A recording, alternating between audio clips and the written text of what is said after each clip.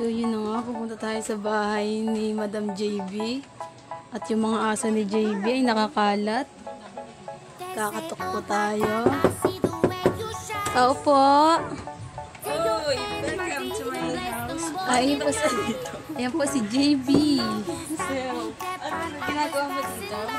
Um, tanong ko lang po yung mga, ano bang nangyayari sa buhay mo? At tatanong ko po yung mga gamit ninyo. Ba, kung meron po ba yung mga sentimental? So, dito pa, una pa lang po natin mga kapamilya, mga kap- Um, mga pinsan niyo po? Yeah, and here, Nagtatago pa po si ate. Kala mo, hindi siya makikita. kaya kasi po yan yung meron po sila mga araw para Ah, So, dito una pa lang sa bahay namin, makikita nyo na yung 22 inches and glass table. Para nakatawa. Okay na yun. ah. And then your... Pag-gitara. Mama niyo po ba yan? Ayan yung madam sa bahay namin. Ah. And si father, mother. And then, Then yung mga your... graduated picture namin. So yan, makikita pa lang dito yung mga ano. Horrible to ng mga memory. At dito makikita niyo yung haircut namin. Say hi to my haircut. Ang ganda.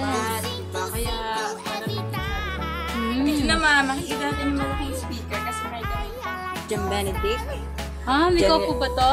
with Jubulay and Christian Gamer. Ah, mukhang hindi pa po kayo tapos sa labahin nyo ah. So yun, di ba nga ako tapos? Kasi, ayan, At tama- nakikipag- Hindi kami tapos pumunta kayo eh.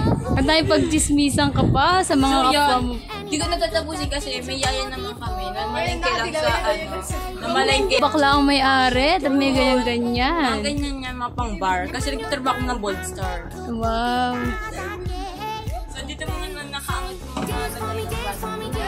Oh, mukhang nag... Mga ganyan. May chicken joy si Maring. Yan. Nagkapatid ba kayong tambay? Galing ko kay Lolo Mantoy. Galing yan. Galing Wala kalakan. naman. Oh, yan. Wow, mineral ganda ng mga bars. And yung mga naman namin na- dyan. Tuwing may bisita lang namin yung ginagamit. Mm. Kaya walang bisita din namin ginagamit. Mga Yung mga bebe gamit niya, namin na puputi, luma. ah. Yan, mga puti yan. Kasi yung aming, ano, yung kalan namin is, pangalan is, ako.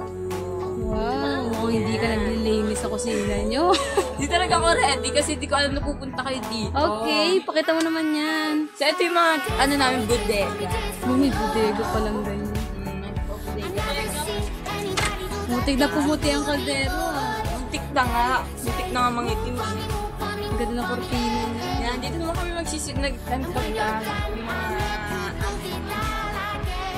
aming mga kaibigan or pinsan. So, dito tayo sa Sparta. Let's go.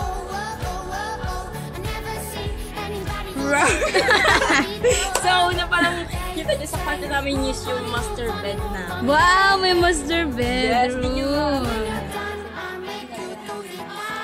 Dito, una-una pa lang kita yung makita natin yung mga pila shoes, Wow, pila. Original ba yan? Yes. Wow. Saan binili? changge. Ah, chang. Ito naman yung mga sapatos na pang basketball wow. Ayun yung kay Papang original. Mainit ba dyan, Maring JB? Yes, sobrang lamig dito. Wow, patingnan nga nasan bang Yung aircon aircon niya. namin dito is tapat-tapatan. Walang ikot-ikot. Wow. Parang wow. Steady lang. Aba, na-try pa. Oh, di ba ang lakas? Sabi mo, Wow, nasa na kwarto niya, Maring JB? Ito na yung kwarto namin, guys. So, dito makikita niyo yung second floor namin. Like this. Yung second floor na to is pang ano lang namin, mga pang mga may Wow, guest kami. second floor. Wow, may guest. May guest, ano kami, may guest room. Kaya pag wala nang pupunta sa amin kasi walang electric, pag bago sila bumangon, sunog na sila. So, Ito. dito makikita Ah, naman- parang ano. Pirituhan.